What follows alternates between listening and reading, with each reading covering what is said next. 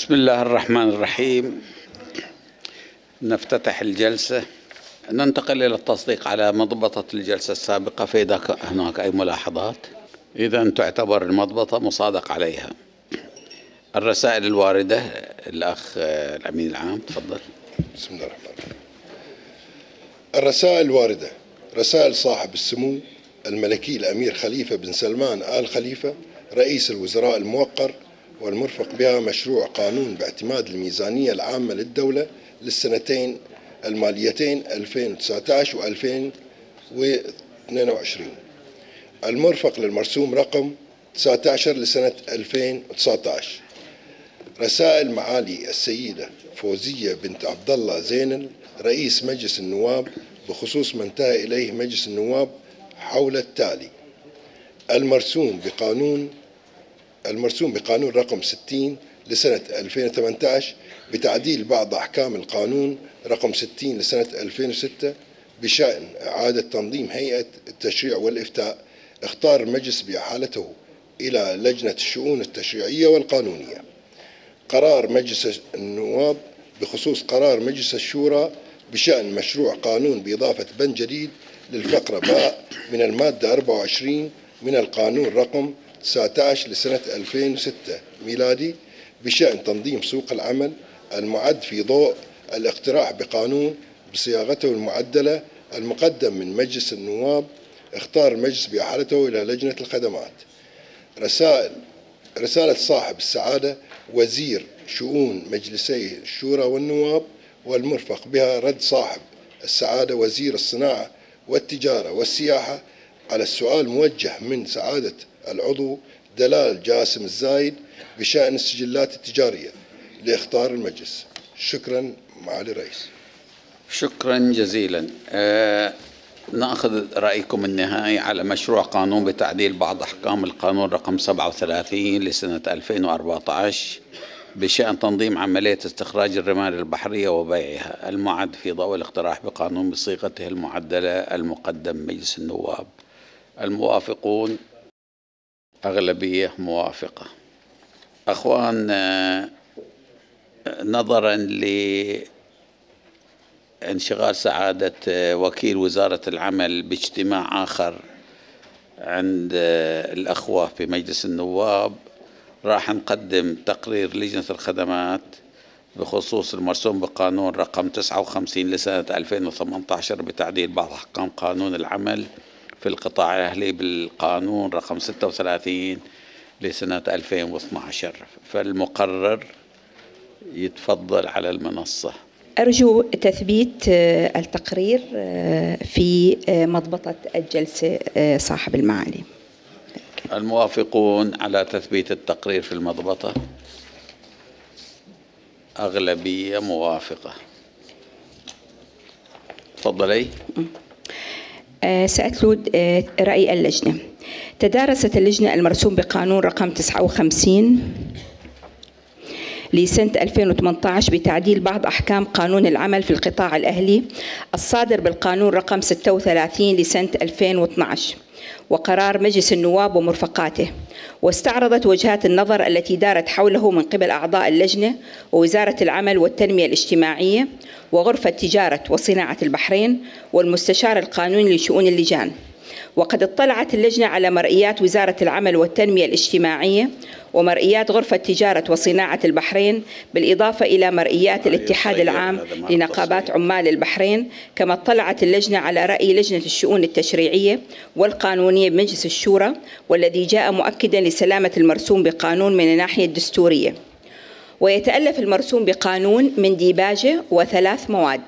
نصت المادة الأولى على أن يستبدل بنصوص المواد اثنين الفقرة باء وأربعين صدر صدر الفقرة باء و46 و185 من قانون العمل في القطاع الأهلي الصادر بالقانون رقم 36 لسنة 2012 وإضافة مادتان جديدتان برقمي 2 مكرر و192 مكرر.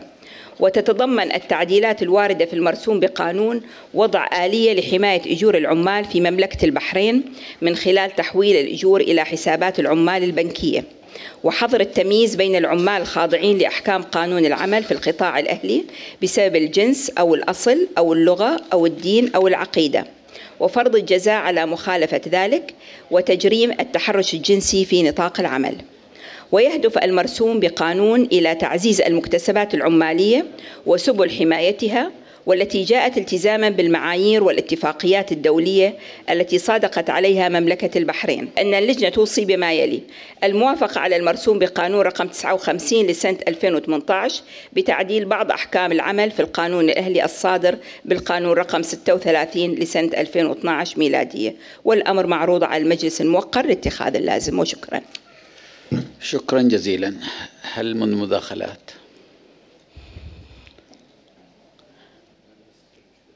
الأخ آه، أحمد الحداد تفضل. صباح الخير مع الرئيس صباح الخير جميعا. بداية أود أن أشكر لجنة الخدمات على هذا التقرير المسهب المتميز مع الرئيس. هذا التعديل يحوي نقطتين مهمتين. أولهما دفع أجور العمال في البنوك والمساواة وعدم التمييز والتحرش الجنسي. مع الرئيس هو طبعا هذا تعديل جيد وممتاز ولكن أعتقد أن هناك مشاكل عند تطبيقه. أنا أعرف أن وزارة العمل مشكورة تقوم بجهود كبيرة حتى تتفق بنود الاتفاقية رقم 111 1958 التي وقعت عليها البحرين في سنة 2000 وما تقوم به البحرين من قوانين في مجال العمل. طبعا هذه مشكلة بالنسبة إلى الوزارة والوزارة العمل مشكورة قامت بعدة جهود وأعتقد خلال سبتمبر اللي راح الفائت أو أوغست آه، كان هناك ثلاثة أعضاء من المجلس الموقر آه، حضروا اجتماع تنسيق مع وفد منظمة العمل الدولي اللي زار البحرين في وزارة العمل. من ضمنهم أعتقد الأخ رضا فرج و والخزاعي دكتور محمد وأنا كذلك. فهناك طرحت الإشكالات التي تواجه البحرين فيما يخص هذه المسألة. مع الرئيس هذه المسألة ليست بجديدة. هذه المسألة قديمة جدا والاتفاقية كذلك مع الرئيس 1958 يعني اتفاقية قديمة يجب أن آه، تعمل الدول الأعضاء في منظمة العمل الدول على طرح بدائل طرح آه، نوع من التعديلات على هذه النصوص هذه الاتفاقية التي عفى عليها الزمن. طبعا البحرين ملتزمة وهذا لا شك فيه يعني والدول الأخرى ملتزمة بذلك. ولكن هناك إشكاليات. نرجع إلى آه، دفع الأجور عن طريق البنوك. يعني بنوك عديدة ترفض هذا الشيء. يعني عامل اليوم يحصل 120 دينار. أنا أفتح له حساب. كم بيكلف المصرف؟ شكرا. الأخ خميس الرميحي تفضل.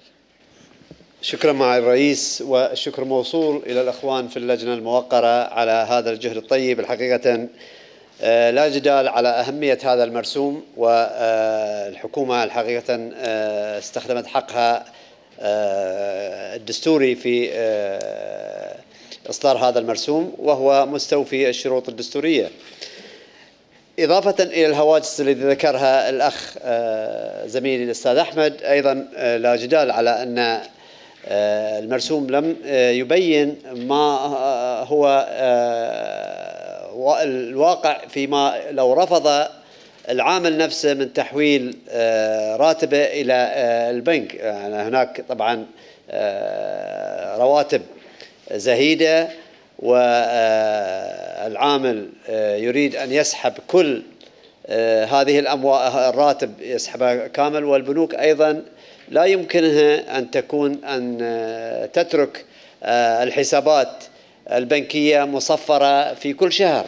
طبعا فيما لو قل المبلغ عن مبلغ معين هناك خصم شهري يقوم به البنوك بالسحب. على الحسابات حتى الحسابات المواطنين البحرينيين أيضا. إذا قل عن مبلغ معين يخصم البنك آه، رسم معين آه، كل شهر. وبالتالي فإن العامل الأجنبي هو في حاجة حتى آه، للخمسة دنانير أو يعني على سبيل المثال التي سوف تخصم منه إذا قل المبلغ عن كذا مبلغ. وبالتالي فإن هذا سوف يكون عائق أيضا أمام العمالة وأمام موافقتهم. أنا أعتقد بأن آه، يجب آه، أخذ موافقة العامل في تحويل راتبه على البنك. نترك إلى الأخ صباح الدوسري ممثل وزارة العمل وكيل وزارة العمل والتنمية الاجتماعية. قد يكون عنده إجابة على شكرا سيدي معالي الرئيس. الله يسعد صباحكم بكل خير. في البداية أود أن أتقدم لكم بخالص الشكر والتقدير على جميع الجهود اللي تقدمونها للوطن والمواطنين عامة وللعمالة الوطنية خاصة. هذا الموضوع بالنسبة لتحويل الأجور يعني موضوع إنساني قبل أن يكون عمالي لأن حتى رسولنا اللهم صل وسلم عليه وصى أن أعطوا الأجير أجره قبل أن يجف عرقه. ونؤكد للأخوان أن لن يكون هناك أي التزام على صاحب العمل أو العامل في دفع أي رسوم عند التحويل لأن حصلنا ضمانات من البنك المركزي من الأخ عماد رشيد المعراج بأن لن يتم إلزام العامل أو صاحب العمل بأي مبلغ. وثانيا أودي أقدم الشكر لأصحاب السعادة أعضاء اللجنة على تفهمهم كل ما دار في الحديث وبالأخص مقررات اللجنة التي كفت ووفت في الشرح المفصل اللي وفر عليه الوقت والجهد. لكن أقول أن موضوع تحويل الأجور هذا ليس بجديد. أحد الدول في مجلس التعاون نجحت في هذه التجربة وأصبح لديها مؤشر في حالة إخفاق أي مؤسسة تعرف أن هذه المؤسسة يجب أن تتابع. لكن إحنا في لدينا في الوزارة شركات أصبحت بالسبع شهور ستة شهور لا تدفع. لأن ما ما عندنا أي مبول للعمال من خوفهم من التسفير أو الفصل يتأنون في رفع قضايا عندنا. لذلك هذا القانون سوف يحميهم ويخدمهم. شكرا. شكرا جزيلا. الأخ عادل المعاودة تفضل. شكرا مع الرئيس.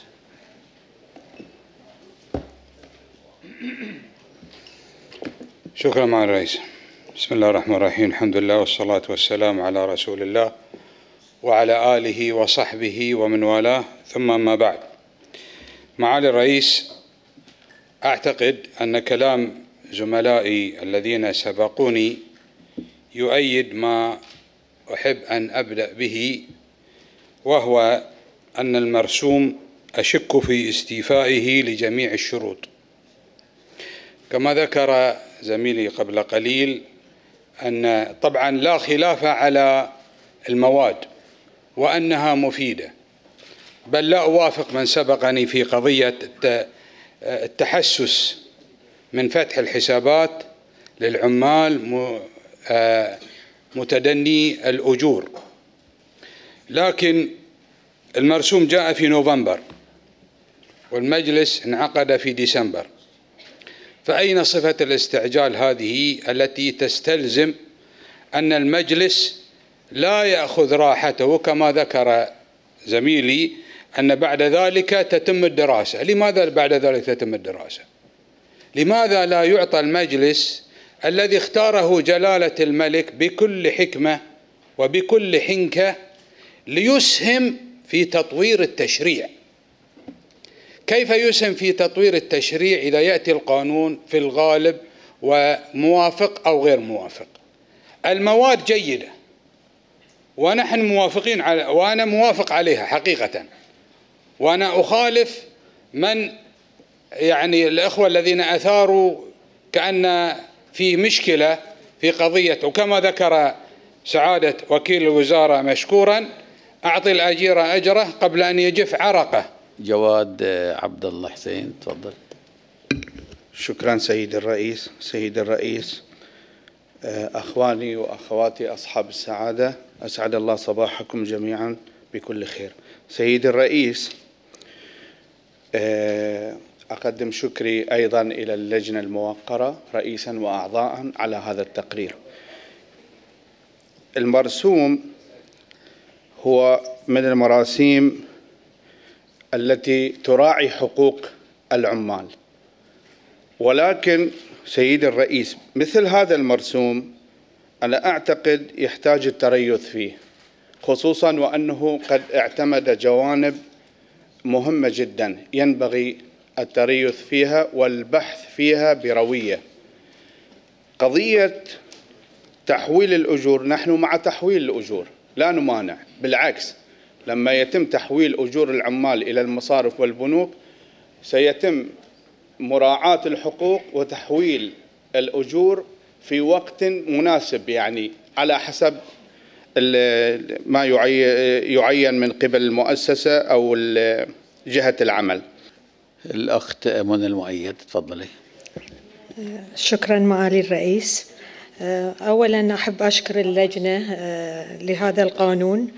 وهو يعني البحرين تحتاج لهذا النوع من القوانين لحماية العمال الوافدين وحماية جميع العمال سواء وافدين أو غيره. وأشكر وزارة العمل والأخ عبد الله صباح الدوسري على كلامه أن هذا يعني أحسن شيء نقدر نعمله في البحرين أن يعني الرواتب تتحول للبنوك من غير ما يكون من من صاحب العمل للعمال. أنا بصفتي كنت رئيسة العمال حماية العمالة الوافدة لمدة ست سنوات. يعني مروا علينا الكثير من القضايا اللي يعني الكثير من العمال وهم متدنيين الأجور لا يدفع لهم الراتب ويهددهم صاحب العمل. إذا تخبرون تشتكون عليه بسفركم ويعني كلها تهديدات. فهذا يجعل العمال يعني يخافون إنه ويعني ظلم للعمال. شكرا جزيلا. الأخ فؤاد الحاج تفضل.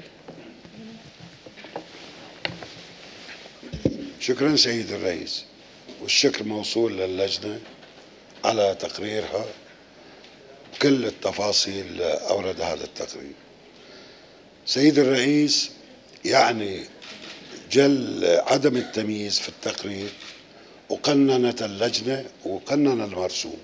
مع أن في البحرين من نشأنا وعرفنا أن ما في تمييز بين البحريني والأجنبي في المؤسسات والمنشآت.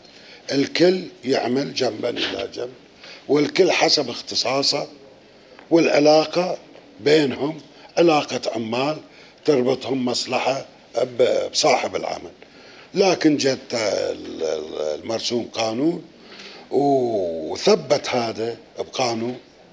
فالشكر للجنة اللي أوضحت هذا في تقريرها أما ما يتعلق بالأجور سيد الرئيس ودفعها عن طريق البنك بالنسبة للمنشأة. يعني مو المنشأة اللي يتجاوز عدد عمالها 500 لما يكون حتى خمسة أو عشرة. لابد من حفظ حقوق العامل. العامل البحريني والوافد. لابد من حفظ حقوقه. وحفظ حقوقه لا يكون إلا عن طريق الزامه بوقت محدد في الشهر يدفع فيه الحقوق يحول هذه الأموال إلى البنوك. هذا الإلزام. الا يحفظ حقوق العامل ويبرئ ذمة صاحب العمل من المسؤولية اللي عليه. شكرا. الأخ بسام بن محمد تفضل. شكرا معالي الرئيس. بدايه نتفق مع كل ما ذكره سعاده النائب الأول. آه، فعلا تقرير اللجنة جاء وافي وتطرق إلى مبررات توصيتهم آه، بشكل واضح. آه، معالي الرئيس أي شيء جديد لابد أنه يواجه بتغيير برفض بصعوبة بتشكيك. لكن هذا تغيير إيجابي معالي الرئيس. مثل ما تفضل سعادة النائب الأول اليوم إحنا أمام تطوير في المنظومة هذه. دول قليلة اليوم اللي عندها عمليات مصرفية خارج المؤسسات المالية وما زالت تتعامل بسيولة نقدية. أغلب دول العالم الآن كل تعاملاتها المالية أصبحت ضمن آه، النظام المالي عندها. ومملكة البحرين رائدة في مجال الأنظمة المالية. فيجب أن نواكب نواكب سمعة البحرين في القطاع ذي ونتعامل مع العملية هذه بشكل متطور. بالإضافة إلى الجوانب الإنسانية اللي ذكروها آه، كل من تكلم قبلي وقالوا أن استحقاقات الرواتب في وقتها حقوق العمال وحفظ حقوقهم وإلى آخره كلها نقاط مهمة. إضافة إلى ذلك معالي الرئيس في نقطة مهمة أيضا. إحنا اليوم لما عندنا معاملات مالية نقدية خارج النظام المالي يصعب على الدولة قياس مؤشرات اقتصادية كثيرة مهمة. يصعب علينا معرفة أمور كثيرة قاعدة تصير خارج النطاق أو النظام المالي. هذه العملية راح تجعل عملية الرقابة وعملية قياس مؤشرات كثيرة لوضعنا المالي للوضع الاقتصادي مهمة وأكثر وضوحا. بعض الدول اللي طبقت النظام هذا اكتشفوا إن في كثير من العماله اللي موجودة إتي بمثلا مسميات وظيفية معينة برواتب معينة ولكنها شهريا تحول مبالغ أضعاف أضعاف ما مدخولها المسجل آه، رسميا في سجلاتها. فهذا أيضا لما طبقوا العملية هذه ضبطت أمور كثيرة. واعتقد إن تطبيقها متأخر فيجب علينا إحنا نسرع في التطبيق ونفعل بأسرع وقت ممكن. شكرا مع الرئيس. آه، الأخ عبد الرحمن جمشير تفضل. شكرا سيدي الرئيس. سيدي الرئيس من حق الحكومة إصدار المراسيم حسب المادة 38 من الدستور. وكذلك من حق الحكومة يعني إصدار هذا المرسوم بصفة الاستعجال تنفيذا لملاحظات منظمة العمل الدولية. آه، وأنا أرى طبعا أن آه، دفع رواتب وأجور العمال عن طريق البنوك سوف يمنع عدم آه، استلام هؤلاء العمال لأجورهم أو امتناع صاحب العمل في دفع هذه الأجور. أنا أعتقد أن دفع الأجور عن طريق البنوك سوف يكون في صالح رب العمل وفي صالح العامل في نفس الوقت. لذلك أن هذه طبعا سوف آه، آه، تصل يعني العمال سوف يحصلون على حقوقهم كاملة بدفع أجورهم عن طريق البنوك. وفي نفس الوقت يعني مثل ما قال الأخ علي العرادي أن المجال أن بيكون هناك أوسع في عند العماله لما تكون كثيرة في في بعض الشركات الكبيرة أن هناك مجال لغسل الأموال فسوف يمنع هذا الدفع عن طريق البنوك مسألة غسل الأموال. طبعا الشيء إنه أنا أتصور أن بالنسبة للتحرش الجنسي يعني في خصوصا في الوظائف المتدنية يعني جريمة التحرش الجنسي سوف تكون يعني مجال أوسع للقيام بهذا العمل. ويعني أنا أشكر وزارة العمل أن وضعت مسألة التحرش الجنسي الجنسي في هذا المرسوم لأننا بالفعل سوف يعني سوف نحاول أن نقضي على هذه الجريمة التي حسب ما ذكر الأخ جمال هناك عقوبات عليها لو قام أحد بها. شكرا سيد الرئيس. الأخ صادق الرحمة تفضل. شكرا معي الرئيس. آه، معي الرئيس أعتقد نحن جميعا في المجلس متفقين على آه، أهمية هذا المرسوم. وأنا أمانة أعتقد أن آه، صفة الاستعجال موجودة. نحن متأخرين في إصداره وكثير من دول العالم حتى دول الجوار تطبق ما ورد في هذا المرسوم وخصوصا في موضوع تحويل الأجور إلى المصارف. لدي استفسار معالي الرئيس أوجهه لأخي العزيز سعادة وكيل الوزارة.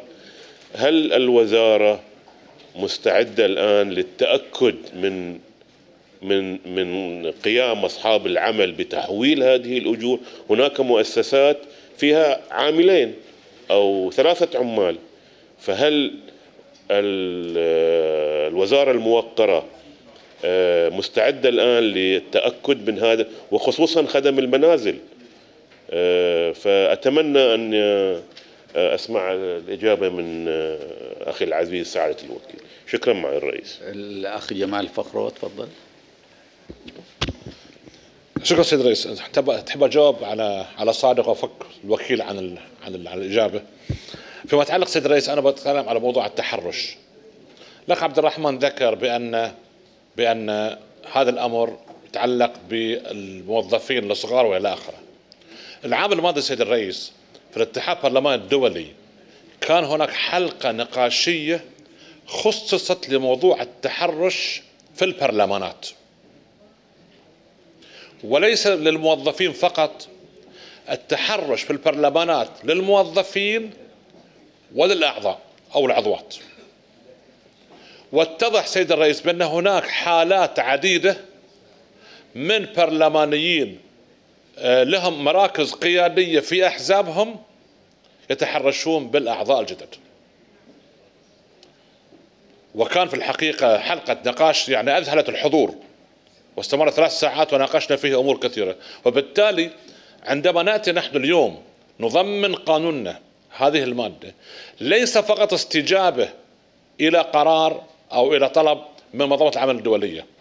إنما استجابة لنقاش كان مجلس الشورى البحريني والبرلمان البحريني حاضر فيه وشارك فيه وأيد ضرورة وضع الضوابط لمنع التحرش في كل أماكن العمل وليس الموظف الصغير أو الموظف الكبير. فأنا في الحق أريد أقول إن أنا أشكر هذا المجلس أشكر الحكومة اللي ساعدتنا وأشكر هذا المجلس. ومجلس النواب إنهم استجابوا إلى حلقة نقاشية في البرلمان الدولي وعدلنا قانوننا ليتماشى معها. شكرا سيد الرئيس.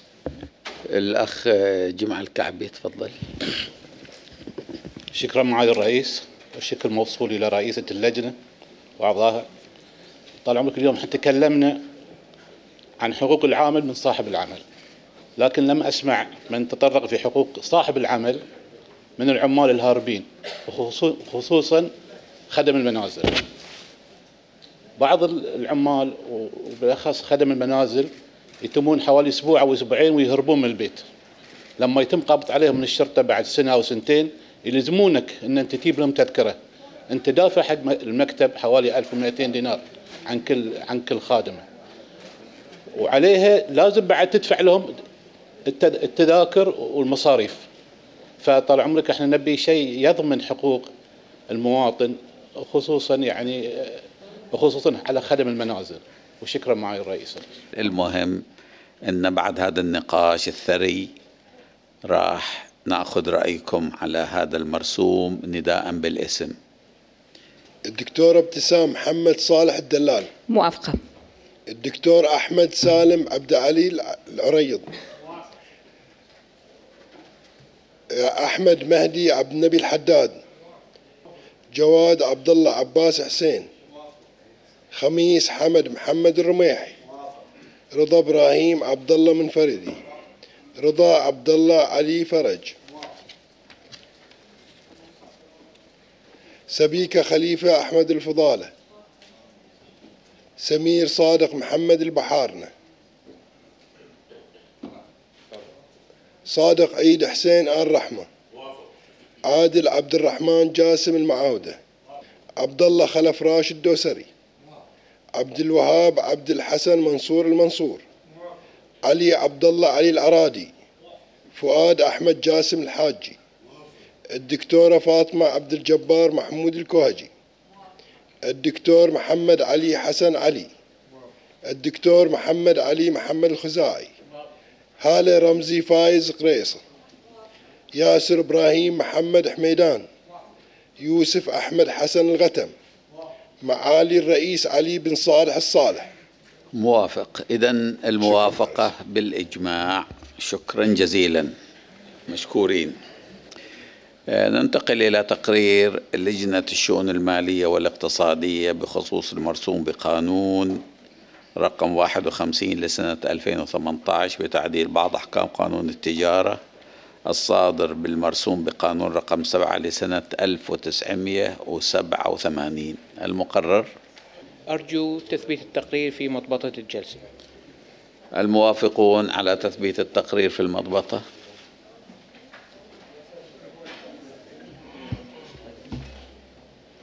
أغلبية موافقة. تفضل. رأي اللجنة.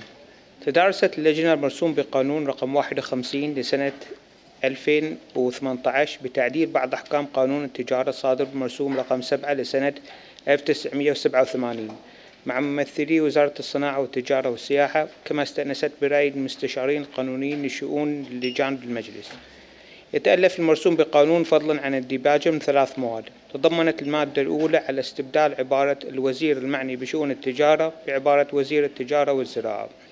وعبارة للوزير المعني بشؤون التجارة بعبارة لوزير التجارة والزراعة وعبارة الوزارة المعنية بشؤون التجارة بعبارة وزارة التجارة والزراعة.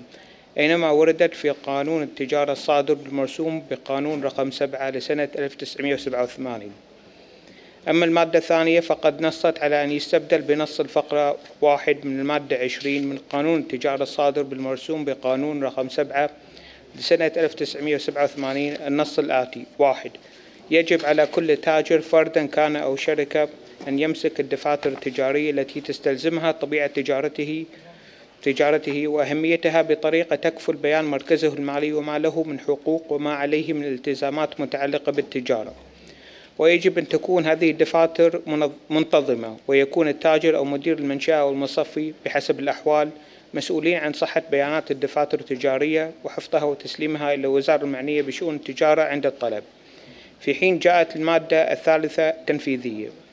ويهدف المرسوم بقانون إلى بسط رقابة الجهة المعنية بشؤون التجارة وتنظيم إدارة العملية التجارية للتأكد من التزام التاجر التجار بالقوانين والقواعد المنظمة وعدم وقوع حالات التهرب الضريبي أو غيرها من المخالفات وبالتالي تعزيز مبدأ الشفافية وفقا لالتزامات مملكة البحرين والاتفاقيات الموقعة عليها حيث يلزم كل تاجر بمسك الدفاتر التجارية دون اشتراط بلوغ رأس المال حد معين.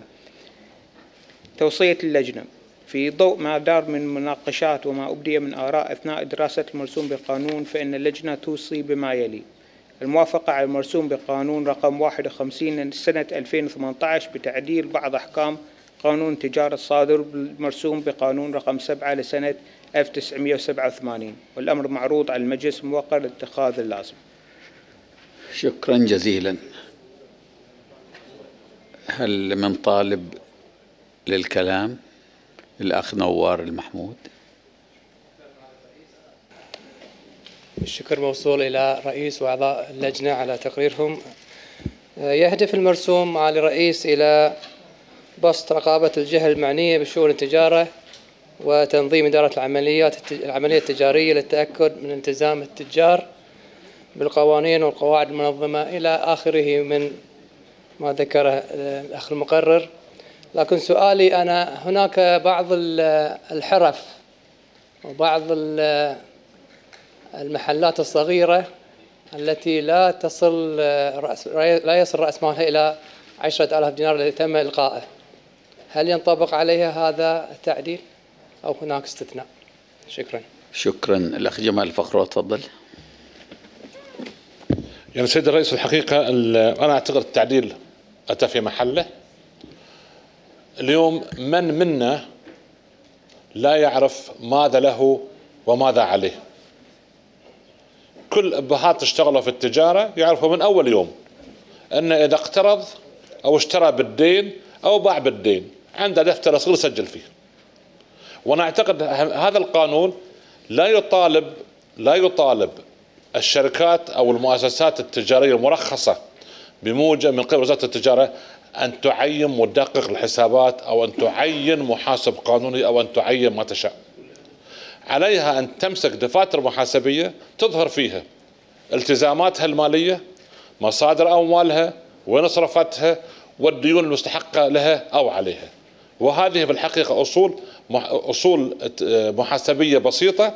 كل تاجر سواء أصدرنا هذا القانون أو لم نصدره عنده مثل هالمعلومات. حتى الخباز أو اللحام أو الخضار يعرف اشترى منه الخضار بالجملة وباعها بالقطاعي أما نقدا أو على الحساب. وبالتالي كل العملية اللي أتت في التعديل هو أن, أن هذه الدفاتر تشمل الجميع وليس كل من سجل شركة بعشرة ألاف دينار وأكثر. وأنا أعتقد أن هذا أمر تنظيمي. وحتى لو لم لم يقوم الإخوان بتنظيم هذا العمل اليوم بكرة مع الضريبة القيمة المضافة سيضطرون أن تكون عندهم دفاتر منتظمة حتى يدفعوا الضريبة التي يستحصروها إلى الجهة المعنية. وبالتالي أعتقد هذا التعديل أتى في محله في وقته. ويجب أن نحن أيضا نوافق عليه كما وافقنا على ما سبق. شكرا. دكتور عبد العزيز أبل شكرا معالي الرئيس. معالي الرئيس أنا اليوم أتحدث بصفتي نائب رئيس اللجنة أولا وسأوضح بعض المواضيع. حبيت باسم اللجنة أشكر الإخوان في وزارة التجارة الحقيقة دائما على تعاونهم مع اللجنة. وحضورهم الدائم في أي مواضيع وحضور وأيضا انفتاح في الحوار ودائما نصل إلى توافقات معهم مناسبة جدا. آه، الشكر يعني واجب لهم الله يسلمك لأن آه، فعلا يقومون بواجب أكثر يقومون بعمل أكثر من الواجب فيما يتعلق بعملهم مع اللجنة يساعد عمل اللجنة. مع الرئيس أعتقد مثل ما تفضل زميلي الأخ جمال كل التجار من السابق حتى قبل هذا الموضوع يمسكون دفاتر يحدد ما له وما عليه في دفتر وكان يعني مسك الدفاتر أساس من المحاسبة. واعتقد معاليكم تدركون هذا الموضوع بصفتكم يعني مطلعين على هذه المسألة. فأعتقد ليس هناك شيء جديد. لكن هذا الموضوع هو بحكم الآن مطالبات التهرب الضريبي لمنع التهرب الضريبي وليس فقط على البحرينيين يعني على الشركات الكبرى أو المؤسسات الكبرى التي لها علاقة قد تكون بأجانب تحديدا لديهم مؤسسات أجنبية. في بلدانهم مطالبون بأن يكون حساباتهم مفتوحة. سلام قال في كل الدول الاقتصاد الذي يعتمد على السوق يجب أن يكون منظم. حتى في البرادات البرادات لو يروح البرادة والبراد يسجل بالدين يسجل كم دفع كم باع. هذه طبيعة الأمور ولا أعتقد أن في مشكلة مطلقا آه، في هذه المسألة على أي تاجر بحريني. إذا كان طبقها تخدم مصالحه وتخدم أيضا ما يعني يعرف ما له وما عليه. وكيف ممكن يطور خدمته في هذا الموضوع؟ أعتقد ليس هناك أي مشكلة مطلقا. تفضل أخ نادر وكيل وزارة التجارة. نادر المؤيد. تفضل. شكرا معالي الرئيس. آه، يعني آه، التعديل بشكل عام كان الأساس فيه هو حفظ حقوق التاجر نفسه لما يحتفظ بدفاتر منتظمة وكذلك حفظ الأطراف الأخرى آه، سواء كانت آه، جهات تعمل مع صاحب السجل أو آه، يعني تبين ما له من حقوق وما عليه من التزامات. ويمكن وضحها الأخ سعادة الأخ جمال فخرو بشكل بشكل يعني جيد اللي هو يعني موضوع آه، التزامات المؤسسات آه، هي موجودة حاليا. آه، بس تأكيدا لها وجدت في هذا المرسوم لتعديلها بدل ما كانت في السابق كانت ما هو أكثر من عشرة آلاف دينار فالآن شملت جميع السجلات التجارية لأصحابها. يعني الهدف الأساسي منها حفظ حقوق التاجر نفسه وحقوق الآخرين كذلك. شكرا معي رئيس طيب تفضل الأخ الأمين العام. آه، أخذ الرأي نداء بالاسم. بسم الله الرحمن الرحيم. الدكتورة ابتسام محمد صالح الدلال الدكتور أحمد سالم عبد علي العريض. أحمد مهدي عبد النبي الحداد. جواد حبيب جواد الخياط. جواد عبد الله عباس حسين. خميس حمد محمد الرميحي. رضا إبراهيم عبد الله منفردي. صادق عيد حسين آل رحمة. عادل عبد الرحمن جاسم المعاودة. عبد الرحمن محمد سيف جمشير. الدكتور عبد العزيز حسن علي أبل. الدكتورة فاطمة عبد الجبار محمود الكواجي. الدكتور محمد علي حسن علي. الدكتور محمد علي محمد الخزاعي. الدكتور منصور محمد عبد الله سرحان. منى يوسف خليل مؤيد. ياسر إبراهيم محمد حميدان يوسف أحمد حسن الغتم معالي الرئيس علي بن صالح الصالح. موافق والأخ رضا منفردي ما كان موجود. موافق فإذا الموافقة بالإجماع. شكرا معلم. شكرا جزيلا. مشكور. المقرر يتفضل. أرجو آه، أن يثبت التقرير في مضبطة الجلسة. الموافقون على تثبيت التقرير في المضبطة. أغلبية موافقة. تفضلي. آه، رأي اللجنة. تدارست اللجنة مواد مشروع قانون بتعديل المادة الخامسة من القانون رقم 27 لسنة 2005 بشأن التعليم المعد بناء على الاقتراح بقانون بصيغته المعدلة المقدم من مجلس النواب. مع ممثلي وزارة التربية والتعليم ووزارة العمل والتنمية الاجتماعية وذلك بحضور عدد من أصحاب السعادة أعضاء المجلس والمستشار القانوني لشؤون اللجان بالمجلس. كما بحثت اللجنة أوجه الملاحظات التي تم إبداؤها من قبل أصحاب السعادة أعضاء المجلس أثناء مناقشة مشروع القانون. وانتهت إلى إجراء بعض التعديلات على المادة الأولى منه حيث ارتأت إعادة صياغة البند 10 من المادة الخامسة من القانون رقم 27 لسنة 2005 بشأن التعليم الوارد في المادة الأولى من مشروع القانون ليكون نص البند كالآتي. المادة الأولى يستبدل بنص البند 10 من المادة الخامسة من القانون رقم 27 لسنة 2005 بشأن التعليم النص الآتي. أولا تنويع الفرص التعليمية وفقا للاحتياجات الفردية الخاصة للطالب ورعاية الطلبة ذوي الاحتياجات الخاصة والاهتمام بهم تربويا ومتابعة تقدمهم ودمج الفئة القابلة للتعلم في المدارس. ويصدر ويصدر الوزير قرارا يحدد فيه الفئات التي يشتمل عليها ذو الاحتياجات الخاصة. وقد قامت اللجنة بإعادة صياغة البند المذكور للاعتبارات الآتية. أولاً تؤكد اللجنة على أن الحق في التعليم مكفول للجميع بموجب دستور مملكة البحرين حيث نصت المادة سبعة منه على أن ألف ترعى الدولة العلوم والآداب والفنون وتشجع البحث العلمي كما تكفل الخدمات التعليمية والثقافية للمواطنين ويكون التعليم إلزاميا ومجانيا في المراحل الأولى التي يعينها القانون وعلى النحو الذي يبين فيه ويضع القانون الخطة اللازمة للقضاء على الأمية. في ضوء ما دار من مناقشات وما أبدي من آراء أثناء دراسة مشروع القانون فإن اللجنة توصي بما يلي. الموافقة من حيث المبدأ على مشروع قانون بتعديل المادة الخامسة من القانون رقم 27 لسنة 2005 بشأن التعليم المعد بناء على الاقتراح بقانون بصيغته المعدلة المقدم من مجلس النواب. ثانيا الموافقة على مواد مشروع القانون كما وردت تفصيلا في الجدول المرفق. والأمر معروض على المجلس الموقر لاتخاذ اللازم. شكرا جزيلا. إذا نفتح الباب للنقاش. الأخت سبيكة خليفة الفضالة تفضلي. إن شاء الله. شكرا معالي الرئيس. بس تعليقا على كلام الأخوة في وزارة التربية أنا بالنسبة لي ذوي الاحتياجات الخاصة هم نفسهم موهوبين ومتفوقين. وإنجازاتهم للدولة وللتعليم ولل... في جميع القطاعات إنجازات واضحة وما يستهان أبدا بها. على العموم معالي الرئيس في الجلسة السادسة تم مناقشة المشروع بقانون وكان هناك الكثير من الآراء والمداخلات من الأخوة فتم إرجاع القانون إلى اللجنة. المشروع القانون إلى اللجنة. كانت مداخلتنا مركزة على شيء واحد أن أن تعريف ذوي الاحتياجات الخاصة تعريف تعريف يعني متشعب وكبير ويختلف من دولة إلى أخرى ويختلف أيضا في البحرين من وزارة إلى أخرى. فتعريف صعوبات عفوا ذوي الاحتياجات الخاصة مختلف في وزارة التربية والتعليم عن ما هو موجود في وزارة العمل والتنمية الاجتماعية.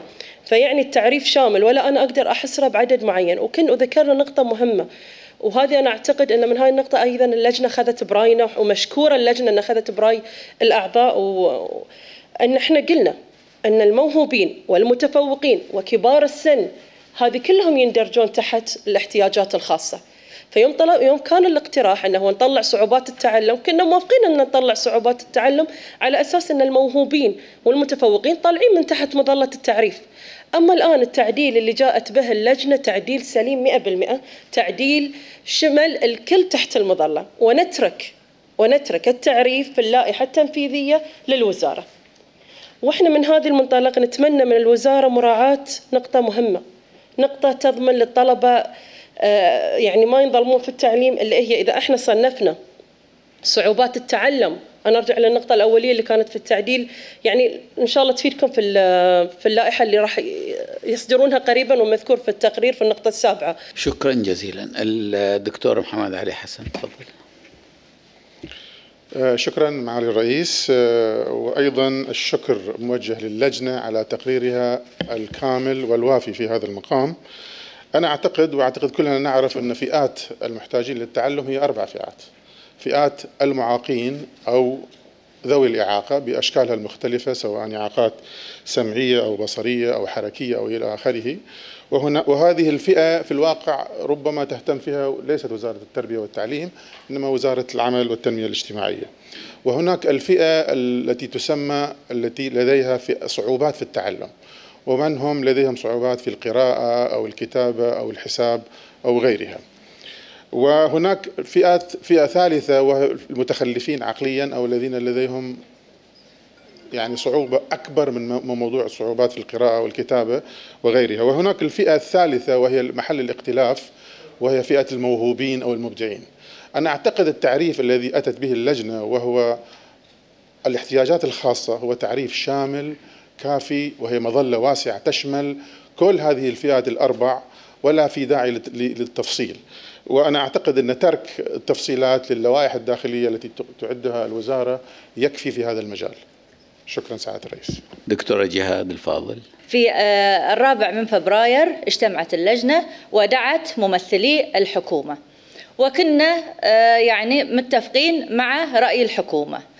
ولكن لما اجتمعنا مع الأخوة مع المختص الأستاذ آه، خالد السعيدي وشرح لنا أن القصد من ذوي الاحتياجات الخاصة وأن تحت مظلة ذوي الاحتياجات الخاصة يندرج الموهوبين والمتفوقين وذوي صعوبات التعلم وذوي بطء التعلم و آه، عسر القراءة والمتأخرين الدراسيين و و و و حوالي 14 فئة.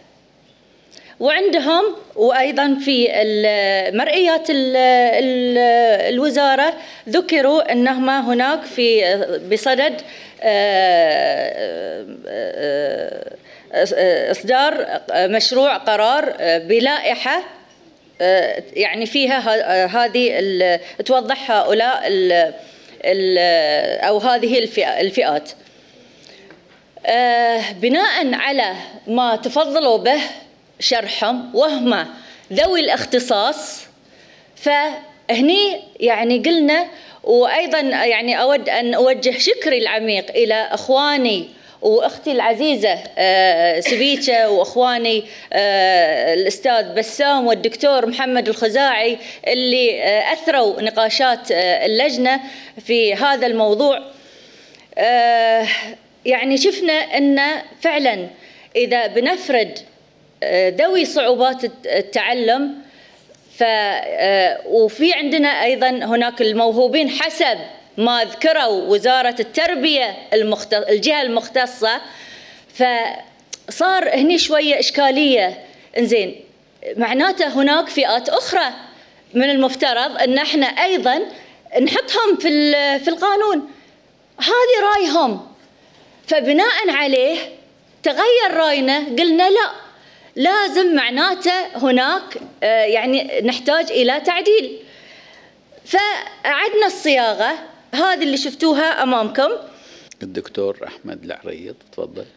بأن إضافة الموهوبين والمبدعين والمتفوقين تحت هذه الكاتيجوري الفئة التي أتى بها القانون ستدخلنا في متاهات أنا أريد أن أستفسر من الجماعة في وزارة التربية والتعليم أن هناك فرق كثير بين هذه الفئتين ولكن إضافة هذا المبدعين إلى هذه الفئة أعتقد أن في هل هناك في العالم قانون في جميع أنحاء العالم إضافة هؤلاء كلهم تحت كاتيجوري واحد أو تحت فئات فئة واحدة؟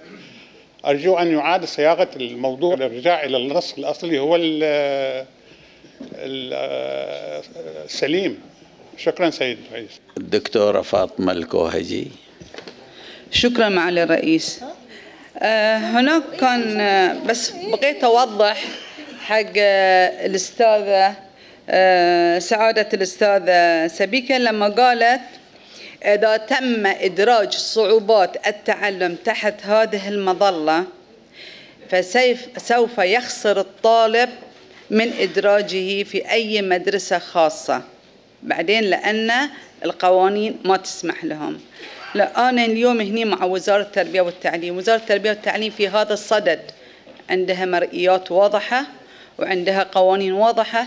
أي مدرسة خاصة تبي أن تدرج هذه النوعية وهذه الفئة عندها لازم تقدم مرئياتها إلى الوزارة ويتم التصديق عليه والموافقة لأن في النهاية هذا الطالب يتم تدريسه وتدريبه في المدرسة ويستلم آه، شهادة آه، آخر شيء. فيعني الخلل مو أن وزارة التربية ما توافق إدراجه في مدرسة خاصة لا. إذا كانت مدرسة خاصة هي قادرة على تقديم هالخدمات ممكن أن هي تكون آه، من ضمن هالفئات هذه. شكرا. الأخ علي العرادي آخر المتكلمين شكرا معالي الرئيس. معالي الرئيس صراحة أنا أجد تقرير اللجنة مهني وأمين جدا ونقل كل وجهات نظر الأعضاء سواء كانت في الجلسة لأن تضمن أيضا مضبطة الجلسة أو الذين حضروا أمام اللجنة.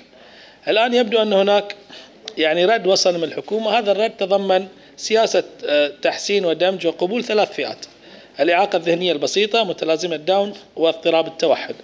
أجد بأن النص الذي اقترحته اللجنة أو الذي عدلته اللجنة يعني أدق وأصح ويأخذ بعين الاعتبار كل ملاحظات أصحاب السعادة الأعضاء وكذلك كل ما دار في من مناقشات. الآن أرى بأن التوجه العام هو التمسك بالنص الأصلي. ولكن صراحة يعني النص الذي اقترحته اللجنة هو أفضل من ناحية الصياغة أفضل من ناحية أنه يشمل كل هذه الفئات ويأخذ في عين الاعتبار جوهر ما تناقش به أصحاب السعادة أعضاء هذا المجلس ويعبر عن رغبتهم ونيتهم وكذلك رغبة اللجنة وأعضاء اللجنة. يعني يعني صراحة من الغبن الآن أن بعد بعد كل هذا التعب أن نذهب ونتمسك بنص أصلي طرح اقتراح عليه بتعديله وأخذ حيز كبير من المناقشة والنقاش ومن وجهات النظر ومن الرسائل وكذلك من اشتراك بعض أصحاب السعادة الأعضاء في اجتماعات اللجنة. على كل بعد هذا النقاش نأخذ رأيكم الموافقون على مشروع القانون من حيث المبدأ. اللي اللي ما يريد التعديل ويحافظ على المادة على القانون الحالي الموجود يرفض.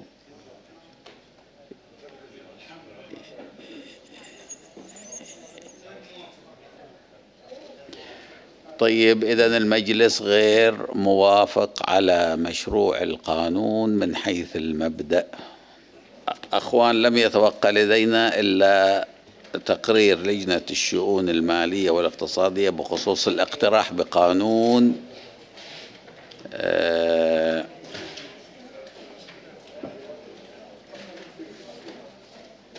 بشأن تعديل الفقرة ألف من المادة 284 من قانون الشركات التجارية الصادر بمرسوم بقانون رقم 21 لسنة 2001 المقرر؟ معالي الرئيس أرجو طلب تثبيت التقرير. الموافقون على تثبيت التقرير في المضبطة.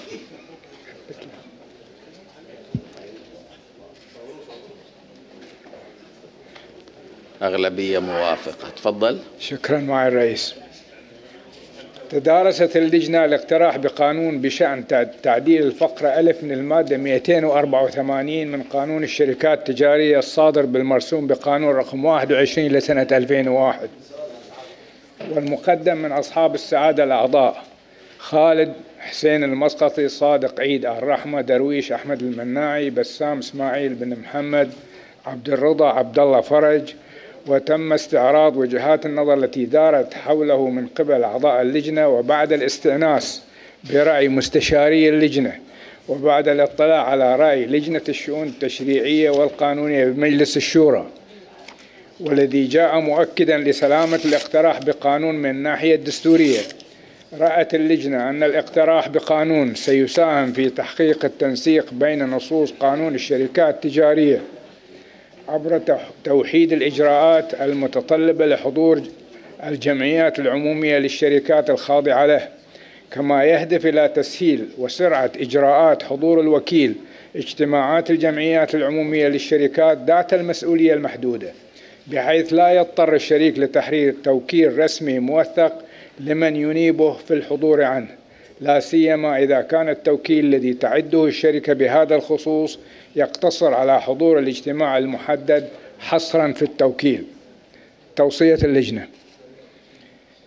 في ضوء ما دار من مناقشة من مناقشات وما أبدي من آراء فإن اللجنة توصي الموافقة على جواز نظر الاقتراح بقانون بشأن تعديل الفقرة ألف من المادة 284 من قانون الشركات التجارية الصادر بالمرسوم بقانون رقم 21 لسنة 2001 والمقدم من أصحاب السعادة الأعضاء خالد حسين المسقطي صادق عيد آل رحمة درويش أحمد المناعي بسام إسماعيل بن محمد رضا عبد الله فرج. طبعا هذا الاقتراح يطلب منكم جواز النظر فيه حتى يتم إحالته إلى الحكومة الموقرة للصيغة النهائية ثم يرجع كمشروع قانون إذا ما في أي مداخلات على الموضوع الموافق الموافقون على توصية اللجنة.